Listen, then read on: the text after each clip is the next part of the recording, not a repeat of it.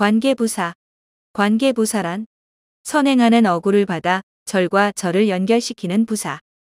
관계부사의 종류. 시간, When, 장소, where, 이유, why, 방법. how. This is the house. I was born there. The house. There. This is the house where I was born. Where? 이 집이 내가 태어난 집이다. Please tell me the way. You made this cake in the way. The way. In the way.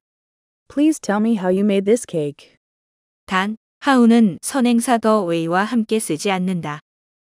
내가 이 케이크를 어떻게 만들었는지를 내게 말해줘.